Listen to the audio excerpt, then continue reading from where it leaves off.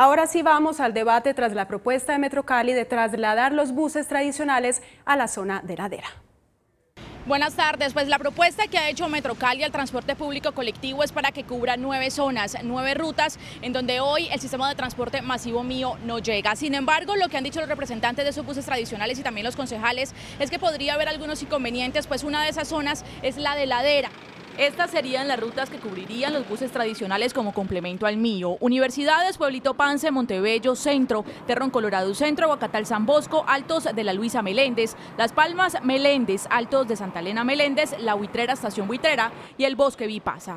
Indicándonos que el TPC podría prestar el servicio en esa zona y en eso hemos venido trabajando. Llevamos cuatro reuniones eh, en donde aún no se... Ah, ha visto pues un panorama claro para resolver ese asunto. Dicen que cubrir la zona de ladera les traería varios inconvenientes.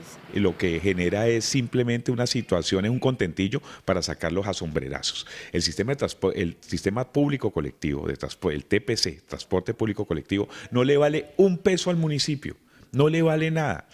Yo creo que lo lógico sería incorporarlos al sistema de transporte. Esta es la propuesta de Metro Cali.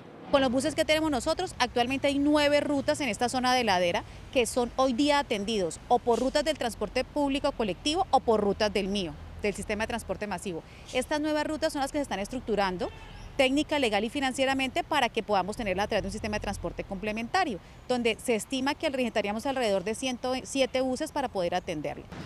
Caterina Estacio desde el sur de Cali, porque el noticiero 90 minutos está en ti, está en todas partes.